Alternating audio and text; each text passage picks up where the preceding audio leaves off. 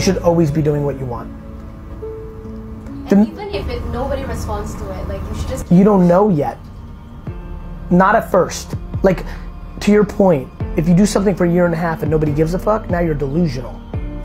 But notice that I'm giving you an answer based on where you're at now. If you don't have a podcast yet, you should start with what you love. The hardest question to ask is when should you double down on staying the course and persevering, or when should you bail and shut it down? You never really, like, I can never answer that question. There's too much I need to know to answer that question.